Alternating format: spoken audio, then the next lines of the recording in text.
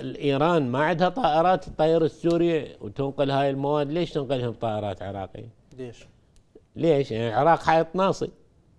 العراق حائط ناصي وهاي على مود أموال طمع. وأكو هم أحد السياسيين مسوي له شركة مال نقل بري هم ينقل آه، شاحنات. سياسي عنده شركة نقل بري. نعم عنده شركة نقل بري وينقل شاحنات وينقل ممنوعات ممنوعات؟ من أجل الأموال. نعم ينقل كل شيء. فلذلك هاي الأمور كلها خطيرة تهدد هذه أمن خطيرة البلد. تتحدث بها نعم. أستاذ عامر. نقطة خطيرة سياسي ينقل ممنوعات؟ ينقل كل شيء يعني عندهم شركة نقل بري.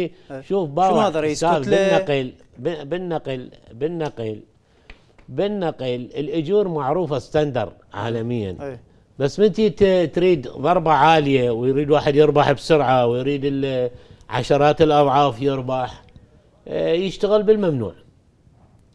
شايف شلون يشتغل بالممنوع والتهريب؟ لأنه هذا الأمر آه، يسهل عليه أرباح عالية بفترة قصيرة.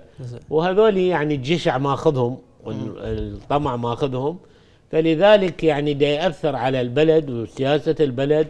الآن الخطوط الجوية تأثرت بهذا القرار. اي هو لذلك كان اسالك شنو راح يكون التأثير العام على خطوطنا الجوية سلطة, سلطة الطيران؟ الطيران أيضا مهددة بالعقوبات. مهددة هي بالعقوبة؟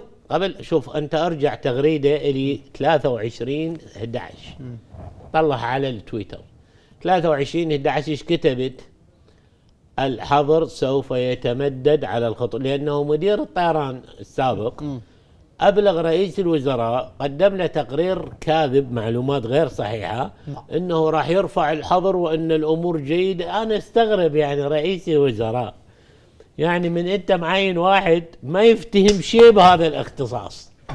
ها؟ ويقدم لك تقرير ويشرح لك وانت تستمع له. يعني هاي فشي مثل هسه واحد يجيب له واحد آه، شهادته مزورة وكذب ويعينه طبيب. هو مو طبيب.